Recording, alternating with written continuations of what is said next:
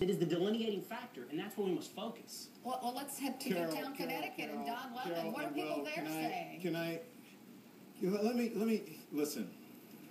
For the past three days, I have been on the verge of tears every second, and most of the people here have been crying 24 hours straight. Yeah, yes, we need to address mental health. But mental health in this particular issue, let's not get it twisted, is a secondary issue. If someone who has a mental issue did not have access to guns that should only be available in war zones, we would not be dealing with this. Who needs a bullet piercing, bullet piercing, ar- uh, armor piercing bullet to go hunting?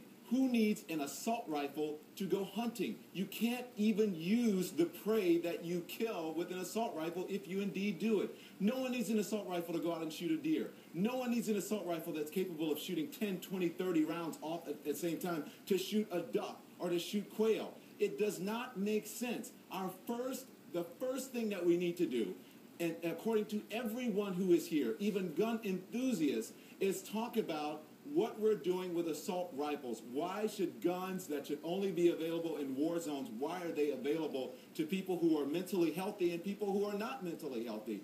That's the issue that we need to deal with. So to say that gun violence is down does not make sense and to me is insulting to everyone who lost a loved one here and who is dealing with that. It doesn't matter if gun violence is down. 26 children or 20 children are dead here and, and six adults are dead. And the mother of, of a person who, who was not mentally uh, up to, who was, who was mentally challenged in some way is, she's dead.